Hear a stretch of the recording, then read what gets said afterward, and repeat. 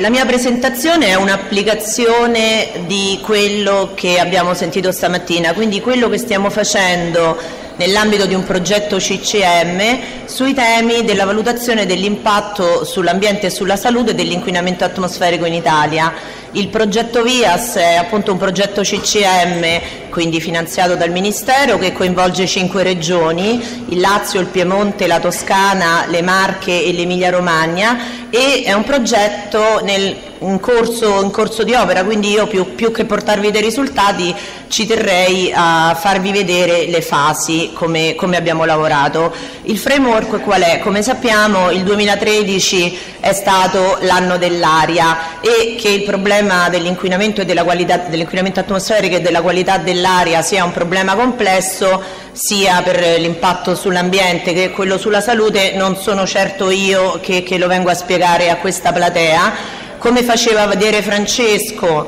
eh, l'Environmental Burden of Disease, il PM2,5 nella torta è responsabile di, di una gran fetta dell'impatto sulla salute e mh, mm, mi fa piacere anche citare il progetto AFECOM che ha valutato invece gli effetti sia short term che long term in 25 città tra cui Roma proponendo quindi una valutazione di impatto. Ma che cosa manca a a, a, questa, a questa, logica. Manca eh, la valutazione eh, integrata appunto, che mette insieme la componente ambientale e quella sanitaria. Quindi eh, considerando sull'esempio del progetto Interese che stamattina Francesco Forastiere ehm, ci, ha, ci, ha, ci, ha, spiegato, quindi la metodologia proposta da Briggs, tutta, tutti i passi che partono dalle politiche, quindi dalle scelte, qualcuno, qualcuno decide, alle fonti di esposizione, come eh, queste esposizioni si manifestano nell'ambiente e agli impatti impatti che queste hanno sulla salute. Quindi salterei in Tarese perché mh, ce l'ha già spiegato Francesco, è un esercizio che comporta l'integrazione delle conoscenze a un ottimo livello sia della parte tecnica ambientale che della parte invece dell'impatto sulla salute. E quindi il progetto VIAS che vorrebbe nell'intento porre le basi per una valutazione integrata dell'impatto dell'inquinamento atmosferico su ambiente e salute in Italia lavorando e usando modelli, quindi modelli ci faceva vedere sia Andrea Bolignano di Arpalazio, che su base nazionale o locale ci consentono di avere le mappe di concentrazioni degli inquinanti al suolo e gli inquinanti oggetto dello studio sono il PM nelle sue componenti 10 e PM2,5, l'NO2, l'ozono, il SOMO 10 e il SOMO 35. Quello che poi manca e che fa di VIAS una valutazione integrata è lo studio degli scenari, cioè che cosa succede rispetto a una situazione di baseline se alcune scelte comportano eh, una riduzione eh, dell'inquinamento atmosferico? E il nostro obiettivo è quindi di eh, proporre la metodologia, è un progetto CCM, vogliamo produrre un metodo che possa essere poi utilizzato da altri in Italia, quindi come gli ingredienti, dobbiamo caratterizzare la popolazione potenzialmente coinvolta, vi farò vedere, e in più c'è un appendice che ci parla dello stato di salute delle persone che abitano in Italia Italia pressi, nei pressi di strade d'alto traffico. Allora, che cosa serve?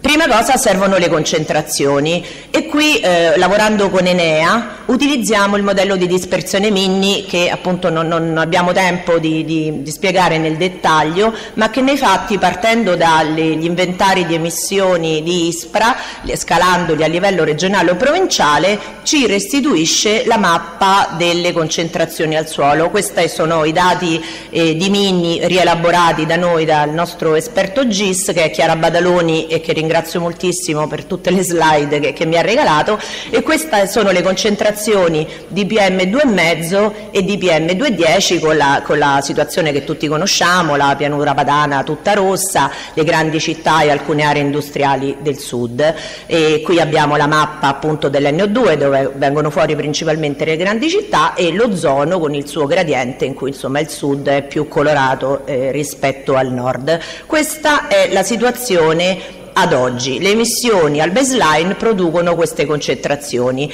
E, ecco, questo invece è l'esempio delle città. Non ho detto che la griglia che utilizza Mimni è una griglia 4x4 e che quindi ha anche dei limiti. Per esempio, vedete su Milano eh, ci sono pochi quadrotti 4x4 e la situazione è sostanzialmente questa, diversa, cioè, scusate, sono ovviamente microgrammi a metro cubo. Questa è la situazione di una città come Roma e questa, per esempio, la situazione della città di Taranto. E il secondo secondo ingrediente è la valutazione della popolazione esposta. Come lavoriamo? Noi lavoriamo sui dati del censimento. Adesso la settimana scorsa sono usciti i dati del 2011, ma quello che vi faccio vedere è relativo a quello che avevamo un anno fa, cioè i dati del 2001, con un'assunzione che ci sia una distribuzione omogenea della popolazione in ciascun blocco censuario che non è tanto grande, in media parliamo di circa 800 metri quadri. Che cosa facciamo? Eh, sovrapponendo, quindi qui il, il, GIS ci aiuta tantissimo, la griglia delle concentrazioni in questi quadrati 4x4 alle sezioni di, di censimento che quindi ci, ci dicono dove stanno le persone, scusate, dove stanno le porzioni, possiamo stimare il numero di persone in ogni griglia, quindi esposti a quel quadrato di concentrazione. E, um, un altro modo è stato quello di usare il database Corin che ci dice, eh, perché volevamo anche dividere la popolazione italiana in esposti alle aree urbane, quindi residenti in aree urbane e residenti in aree non urbane, con appunto la, la, il dataset al 2006. Quello che, che ci viene fuori è che in Italia appunto 35,9% delle, delle, persone risiede in aree cosiddette urbane e il 64% in aree non urbane e questo insomma direi che, che, ci torna e che era atteso. Dai modelli di dispersione, quindi dalle concentrazioni al suolo, io adesso, da adesso in poi anche per brevità vi faccio perché insomma non, non vorrei tenere troppo il tempo, vi faccio, parliamo soltanto del PM2,5, questa è la distribuzione del PM2,5 in Italia e quando la andiamo a vedere tra aree urbane urbane e non urbane abbiamo delle concentrazioni medie nelle aree urbane di 27.4 microgrammi a metro cubo e 15.1 come appunto medie annuali e chiaramente con dei valori minimi e massimi e molto variabili tra le nord, centro e sud, eh, grandi città e piccole città. Oggi eh, Francesco Forastiere mi sembra parlasse del rischio accettabile, io qui senza andare troppo eh, accettabile o meno, però l'OMS ci dice che per il PM2,5 eh, non bisognerebbe essere esposti a più di 10 microgrammi a metro cubo e qui in Italia solo il 21.9% della popolazione è esposto ad una soglia che il WHO ci dice possiamo stare sicuri, variabile tra nord, centro e sud, ma come potete vedere c'è anche una grande fetta della popolazione, cioè il resto, tutto l'80% è esposto a livello superiori il 25.3 superiori addirittura ai, scusate, ai 25 che è il valore che ci dice la direttiva europea. E anche qui con forti variabilità nord, centro e sud, grandi e piccole città. Volevo far vedere, questo invece sono i valori del PM10, abbiamo l'8% della popolazione in Italia che è esposta a valori superiori, per l'NO2 addirittura 12 più 8, più del 20% esposti a valori superiori sia appunto a livello del WHO che alla direttiva europea di 40 microgrammi a metro cubo. Qui era soltanto per farvi l'esempio come lavoreremo sul per definire la popolazione esposta al traffico utilizzando come concentrazioni sempre il database di Minni e poi utilizzando l'Atlante di Teleatlas, che è quello che è alla base dei Tom Tom che tutti abbiamo in macchina e, e che ci, siamo riusciti a caratterizzare quindi la popolazione come residente ad una distanza, qui non possiamo andare oltre, non abbiamo un modello di dispersione legato al traffico, ma possiamo caratterizzare le persone come vicine, quindi esposte a delle strade ad alto traffico e invece più lontane. Non avremo in studio le strade locali perché non, non, non abbiamo dati sui flussi di traffico, anche qui appunto appunto con questo metodo dell'interpolazione è possibile calcolare la quota di esposti. Vado avanti per dire qual è il contributo aggiuntivo dell'inquinamento atmosferico, per prima cosa dovremmo sapere vabbè, ma come sta la popolazione in Italia e quindi qui utilizzando eh, dei database che ci danno gli tassi di mortalità specifici per cella e per classe di età abbiamo fatto un quadro, questa è la mortalità, questa è tutta la mortalità, quindi cause naturali esclusi traumi, che chiaramente non, non sono in studio in questo contesto, eh, com'è il tasso appunto, grezzo di mortalità per 100.000 abitanti, qui ognuno può riflettere se ci vede o non ci vede un gradiente, ma comunque forse una qualche differenza scuro o, o, o, chiaro un pochino si vede. Quindi è su questa base, su questo baseline di stato di salute che il nostro progetto calcolerà l'incremento, quanti sono i casi in più attribuibili alle particelle e, a, e agli inquinanti che stiamo studiando. Le, funzioni, le funzioni concentrazione e risposta sono state già presentate stamattina da Francesco, eh, mi fa piacere citare i due progetti dell'Unione Europea, Reviap e Rapie, non, so come si dica, Re, Repie forse, dove alcuni esperti sono stati messi intorno a un tavolo per un anno e gli è stato chiesto, signori, eh, diteci quali sono le, le funzioni concentrazione e risposta che dovremmo usare noi, Unione Europea, nel futuro per calcolare il rischio eh, in più legato alle, agli inquinanti. E loro si sono riuniti, hanno lavorato per un anno e hanno prodotto dei tabelloni in cui classificando le evidenze come sufficiente, quindi A con l'asterisco oppure come B abbiamo ancora qualche dubbio, gli studi disponibili non ci dicono ancora molto, sono stati forniti dei coefficienti, per esempio fra PM2,5 e mortalità naturale, una grande metaladici ci diceva fino a un mese fa, eh, due mesi fa, che il rischio era un incremento del 6%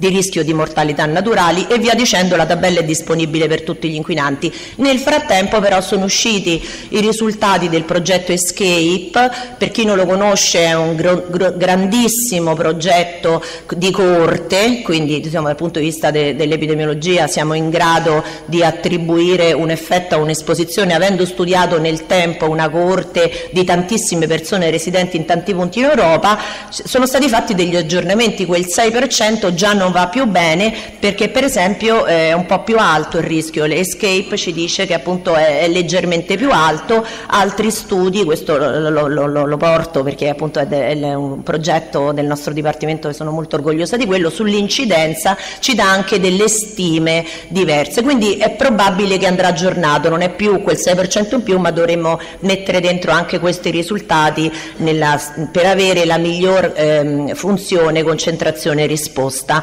anche per l'effetto del traffico sono disponibili delle concentrazioni, direi che abbiamo tutti gli, gli ingredienti per calcolare il, il numero. Il numero, quale, che cosa usare? È appena uscito, questo è proprio di, di adesso, non so, dieci giorni fa, eh, che l'Unione Europea appunto ci dà boom, un numero, 7 milioni di morti che, che non si dovevano verificare eh, legati all'inquinamento atmosferico. Ecco, forse, come diceva stamattina Francesco, non è soltanto questione di usare il numero forse anche, anche Fabrizio, del, dei casi, ma ci importa appunto dare invece un'idea del, del daily, cioè di quanta vita per disabilità le persone che fortunatamente non muoiono però si, si, si portano eh, a causa dell'inquinamento. E e finisco perché non ce l'ho io i risultati, non l'abbiamo ancora fatto, la stima dei casi, però gli scenari, perché credo sia anche importante avere questo quadro, sempre utilizzando, la, in collaborazione con Enea, utilizzando le concentrazioni di Mini e gli scenari emissivi che vengono messi nel, nel,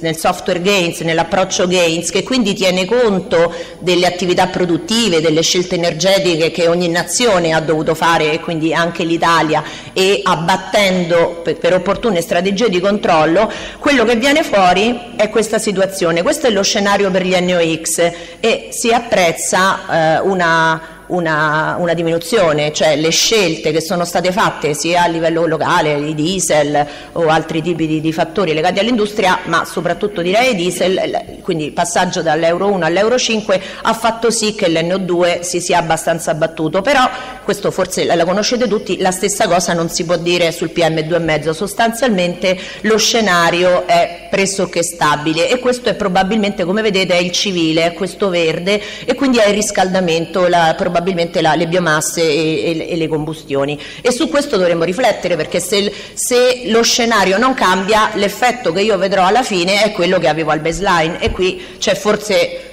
bisognerà rivedere alcune politiche localmente o addirittura a livello nazionale per far sì che lo scenario ci dica che il PM si abbasserà e queste sono le mappe risultanti, quelle al 2005, al baseline e al 2020, questi sono gli NOx e questo è il PM2,5. Ho solo altre due slide, la formazione. Il progetto VIAS tiene molto, come tutti i progetti CCM, alla formazione. Abbiamo fatto un corso diviso in tre settimane, eh, c'erano anche tante persone che oggi sono presenti e veramente erano presenti tecnici di ARPA e ISPRA e tecnici dei dipartimenti di, di salute e quindi è anche al momento della formazione che scambiare le esperienze serve a crescere e a creare questa cultura di ambiente e salute. Eh, non so se è stato un pilota pilota, cioè il primo di una serie di corsi che ripeteremo o un'esperienza unica, però per chi c'è stato è stata veramente un'esperienza bella. E l'altra cosa è la casa della comunicazione, il nostro progetto ha un sito eh, dedicato e sul quale eh, metteremo e stiamo mettendo tu, tutto quello che stiamo producendo. Concludo eh, dicendovi che adesso vi ho parlato di questo core, cioè che è proprio l'impatto, ma in realtà le altre unità operative del progetto valuteranno l'incertezza, c'è un caso studio a Roma di Ispra sull'impatto delle polveri, delle polveri iltrafini, il corso di formazione ve l'ho detto, l'Emilia Romagna VIAS a livello locale, abbiamo con Arpalazzo modelli di dispersione a livello locale per ehm, situazioni particolari tipo i porti, gli aeroporti, le discariche e un grande contributo dell'influenza del verde urbano perché le piante ci aiutano, perché sono in grado di mitigare eh, per tanti versi gli aspetti. E quindi concludo ringraziando ringraziando di cuore tutte le unità operative, qui ci sono solo i coordinatori e i responsabili delle linee progettuali, ma c'è dietro tantissimo lavoro di tante persone e spero di avere l'occasione di presentarvi i risultati quando ci saranno. Grazie.